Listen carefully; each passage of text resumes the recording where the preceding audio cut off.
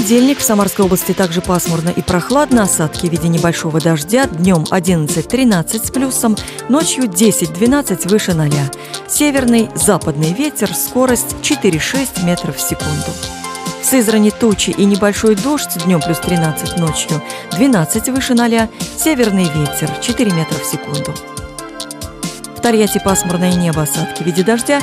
Температура воздуха днем плюс 13, ночью плюс 12. Западный ветер 5 метров в секунду. В Самаре пасмурно, пройдет небольшой дождь. Днем плюс 12, ночью плюс 10. Западный ветер 5 метров в секунду. Атмосферное давление 750 миллиметров ртутного столба. Влажность воздуха 40